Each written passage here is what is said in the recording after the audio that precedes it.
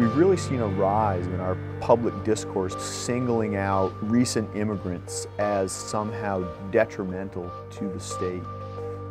That is something that we didn't really see much of, you know, a decade ago.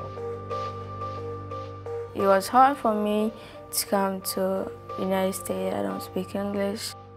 The people who are from different countries and from different backgrounds feel very like unwelcome and unaccepted sometimes in our school.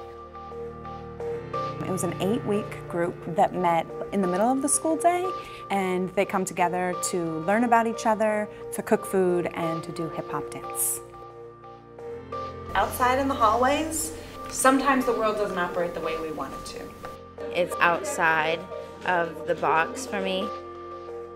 My family got a lot of problem about job, house.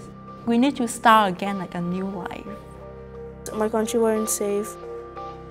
Being an immigrant is hard. I've gotten racist comments. How am I so smart in class? Because black people usually aren't. So find everyone who celebrates the same spiritual, religious beliefs as you. You believe there's something out there, but you're not sure what. The Buddha in your and make you feel happy. Well, we believe in one God. Uh, we're Muslims, and uh, our religion is based off peace.